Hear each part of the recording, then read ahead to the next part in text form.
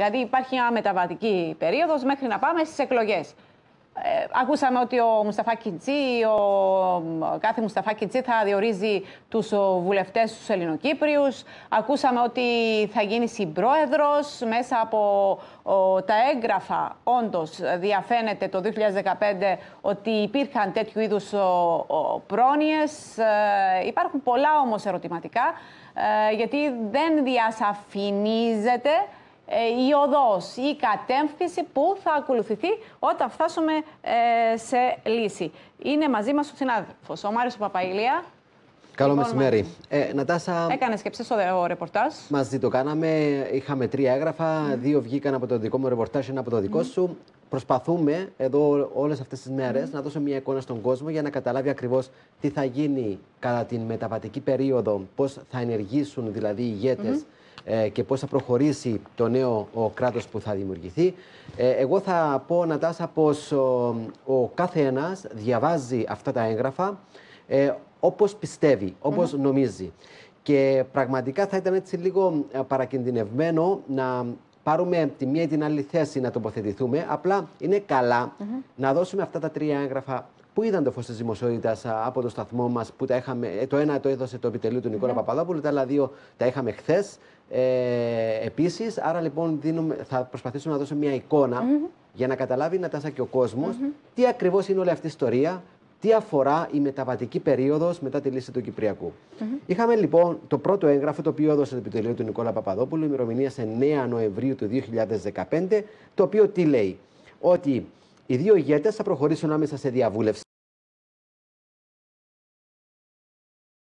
και το τονίζω αυτό, με τις πολιτικές δυνάμεις και άλλους εμπλεκόμενους να συμπληρώσουν όλα τα αξιώματα και θέσεις όλων των θεσμών σε όλες τις εξουσίες, εκτελεστική, δικαστική ε, και νομοθετική, και όλους τους ανεξάρτητους αξιωματούχους μέχρι να λάβουν χώρα οι εκλογές ή και να ακολουθήσουν διορισμοί και τοποθετήσεις σύμφωνα με τις κανονικές πρόνοιες του συντάγματος.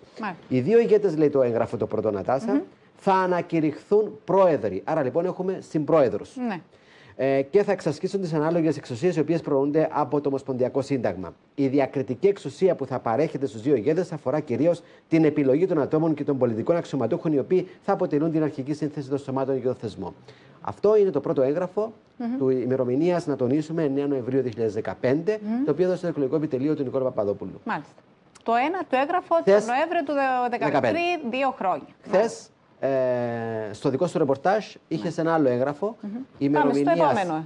ημερομηνίας 1η Νοεμβρίου 2016, το οποίο όντως ήταν άγνωστη η παρουσία του και το φέραμε χθες στο φως της ναι. Το οποίο τι λέει; Φαίνεται ότι αλλάζει αυτή την φιλοσοφία του πρώτου εγγραφού που έχω αναγνώσει και λέει ότι υπάρχει μια προσέγγιση στην αναφορά ότι είναι υπεύθυνες για τους διορισμούς σε όλους τους θεσμούς μέχρι τις εκλογές να είναι οι δύο κοινότητες και ο καθένας θα διορίσει τους δικούς του.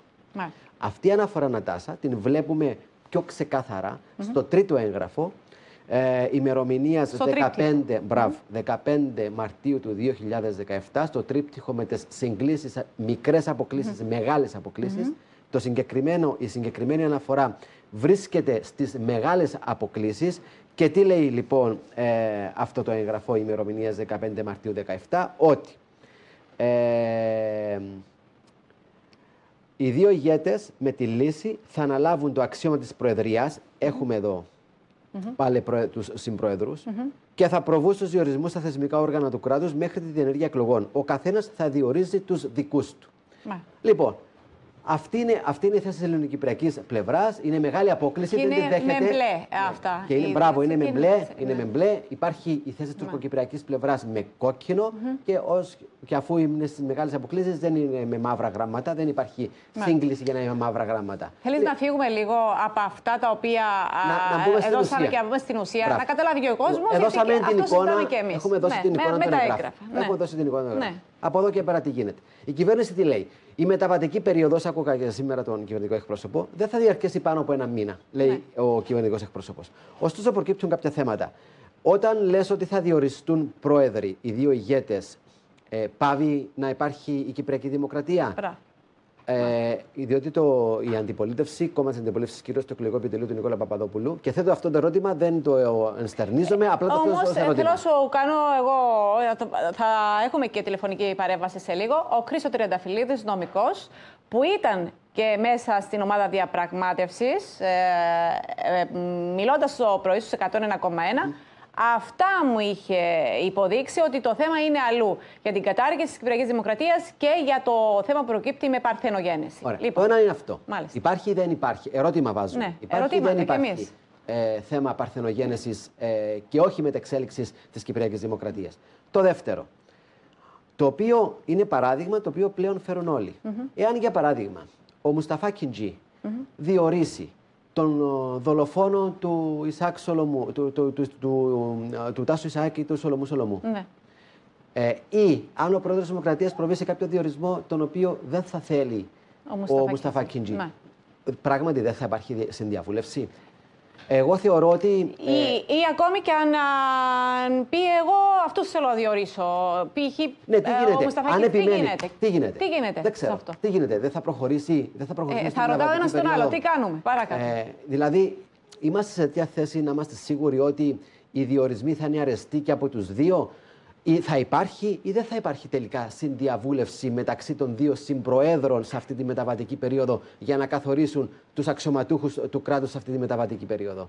Είναι απορίες οι οποίες, ναι μεν ο καθένας διαβάζει τα έγγραφα αυτά που είχαμε πει στην αρχή όπως πιστεύει, αλλά είναι και κάποια θέματα τα οποία είναι επί της ουσίας και πρέπει να δοθούν απαντήσεις. Είναι ή όχι αυτό το πράγμα παρθενογένεση. Και λέμε, είναι ερωτήματα και δεν παίρνουμε θέση.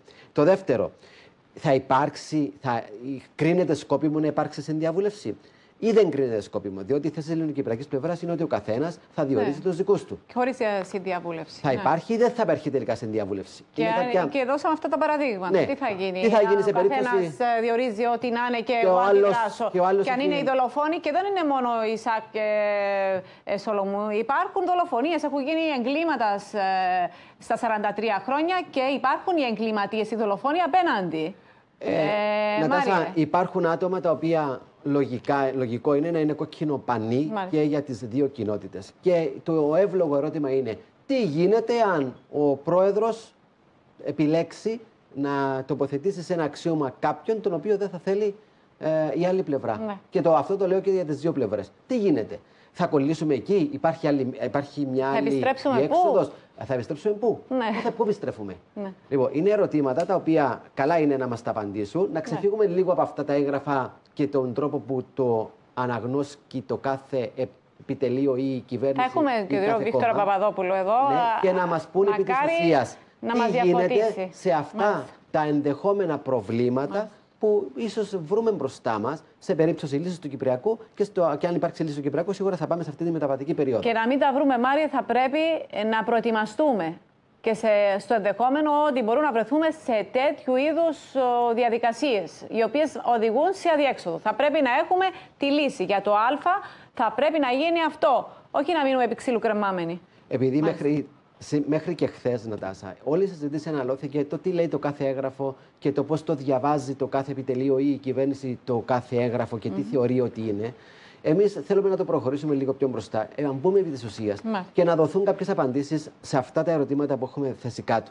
Για να δοθεί και εικόνα προς τον κόσμο ακριβώς για να ξέρει τι ακριβώς προνοεί, προνοείται σε αυτή τη μεταβατική περίοδο. Μα. Τι θα γίνει. Ε, αν γνωρίζουν, θα μας πούν. Ε, πρέπει να γνωρίζουν γιατί αυτοί διαβουλεύονται. Μάλιστα. Και πρέπει να δώσουν εξηγήσεις και απαντήσεις και να ξεφύγουμε λίγο από αυτά τα έγγραφα. Το τι λέει ακριβώς και πώς το διαβάζει ακριβώς το κάθε επιτελείο ή η κυβέρνηση. Να μπούμε επί της ουσίας και να δοθούν απαντήσεις. Τι γίνεται σε περιπτώσεις που έχουμε πει, αλλά και τι γίνεται α, αν όντως μιλούμε για α, συνέ- μετεξέλιξη της κυβερνητικής δημοκρατίας ή μιλούμε για παρθενογένεση ή μιλούμε για κάτι άλλο. Μάλιστα.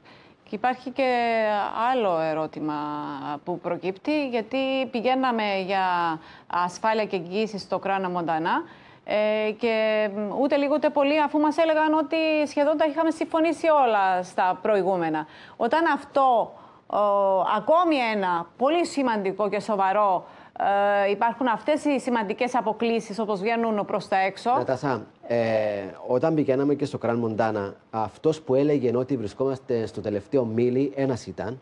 Ναι. ήταν ο Έσπεν Μπαρθαϊτά και θυμάστε πολύ καλά ότι πίεζε τις καταστάσεις για τους δικούς του λόγους, για να τα φέρει πρωτοτελεσμένων, για, Ναι. να, για να έχει και αυτός την δική του επιτυχία. Ε, θεωρώ ότι μέχρι και το Κραμοντάνα αυτά όλα ζητήματα, όχι μόνο αυτά και πολλά άλλα, παραμένουν ανοιχτά και είναι σημαντικότατα. Και θα έλεγα ε, είναι εξίσου σημαντικά και με το κεφάλαιο της, των εγγύσεων και της ασφάλειας που συζητάμε. Βέβαια. Υπάρχουν τόσα κεφάλαια. Πώς θα ανοιχτά. λειτουργήσει το κράτος. Είναι πολλά τα ερωτήματα που δημιουργούνται, Ανατάσα. Κατανομή εξουσιών. Ε, εδώ, τα δεν, οικονομικά. εδώ Ανατάσα συζητούμε. Είναι, είναι μπαίνει Νοέμβρη και θυμάμαι πολύ καλά. Πέρασαν τρία χρόνια από την ημέρα που ζήτησε ο πρόεδρος της Δημοκρατίας να, α, να επιτραπεί στα κλιμάκια τους, ε, ε, του Διεθνούς Νομισματικού Ταμείου και της Παγκόσμιας Τράπεζας να έχουν μια εικόνα των οικονομικών του Και ακόμα θα δούμε αυτή και την ακόμα, εικόνα. θα, κα- και ακόμα θα υπάρξει αυτή η έρευνα. Ναι. Το πιο απλό λέω τώρα. Μάλιστα. Είναι πολλά τα ζητήματα, Νατάσα. Είναι τεράστια τα ζητήματα ε, που μένουν ανοιχτά ε, και δεν είναι μόνο αυτά που βλέπουμε και συζητούμε αυτή τη στιγμή. Μάλιστα. Να σε καλά, ευχαριστώ πάρα πολύ που ήσουν και σήμερα έτσι μαζί μας. Α, Πάμε τώρα